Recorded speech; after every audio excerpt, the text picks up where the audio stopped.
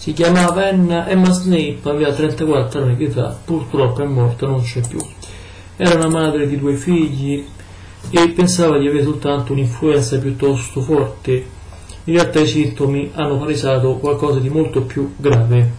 La donna infatti a febbraio ha iniziato ad avere quelli che sembravano i sintomi classici di un raffreddore, però la sua salute è andata a peggiorare in maniera luminosa e è stata quindi ricoverata.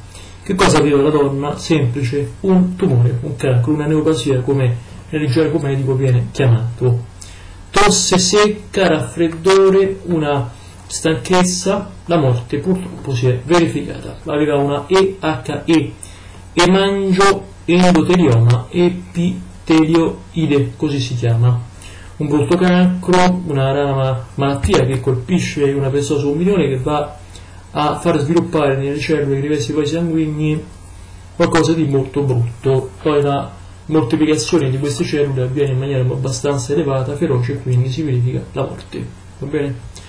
I sintomi tipici sono quelli di tosse, difficoltà respiratorio, il dolore addominale e una grande perdita nel peso corporeo.